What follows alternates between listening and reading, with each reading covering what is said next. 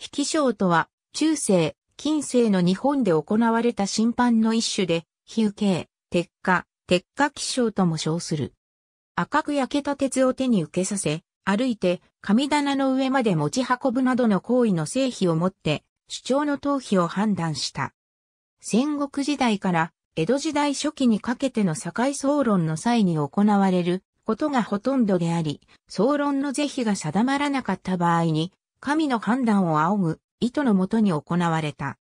総論の対象となる集団からそれぞれ代表者を指名し、代表者は精進決済の上に、立ち会いの役人らの前で手のひらに、合王法印を広げ、その上に灼熱した鉄を乗せて、それを素手で持ち運びその冠水の度合いによって、所属集団の主張の逃避が判断された。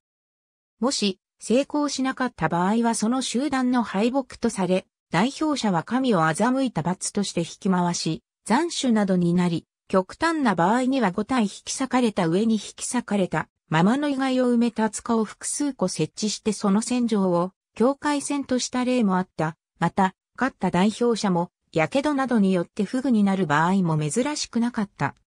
このため、勝っても負けても引き賞を行った代表者あるいは、その家族はその集団が責任を持って面倒を見るべきものとされた。引き賞の記録は、会津地方や大見国など各地に見られ、また引き賞の結果気づかれたと伝えられる、鉄火塚と呼ばれる塚が残っている地域も存在する。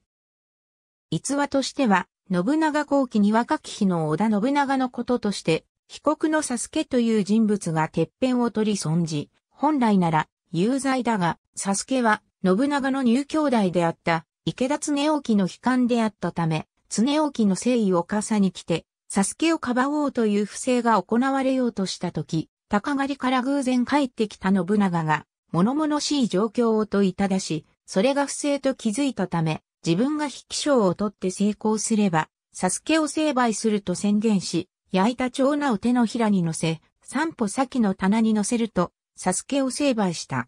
主君自ら行うことで文句を言わせる隙を与えなかった内容となっている。同時に、新明裁判でも不正が行われていたことを示した内容と言える。ありがとうございます。